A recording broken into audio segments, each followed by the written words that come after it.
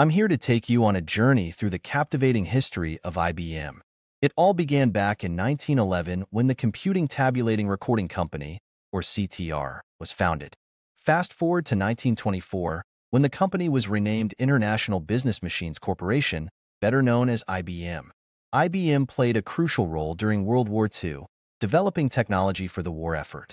But it was in the 1950s that IBM truly made its mark with the introduction of the IBM 701, the company's first commercially available scientific computer. This marked the beginning of IBM's dominance in the computer industry. The 1960s and 1970s saw IBM revolutionize the world of computing with the introduction of the System/360 mainframe computer, which set the standard for compatibility and scalability in the industry. IBM's innovations continued into the 1980s with the launch of the IBM Personal Computer, which became a household name and solidified IBM's position as a leader in the tech world. As the digital age progressed, IBM continued to innovate, developing technologies like the IBM Watson supercomputer, which made headlines for its ability to understand natural language and beat human champions on Jeopardy!